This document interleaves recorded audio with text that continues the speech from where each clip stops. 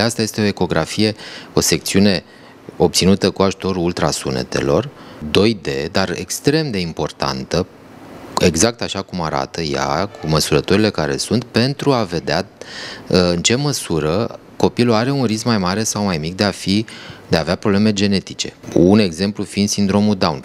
Aici este inima copilului la 13 săptămâni și uh, graficul care se vede important tot pentru a găsi eventuale semne de uh, anomalii de marcări de anomalii cromozomiale. Aici este o imagine a uh, inimii în Doppler a curgerii sângelui prin marile vase ale cordului fetal la 13 săptămâni. Trebuie știu că uh, la vârsta asta cordul fetal are aproximativ un centimetru doar, iar imaginile sunt foarte mult zoomate de către aparat.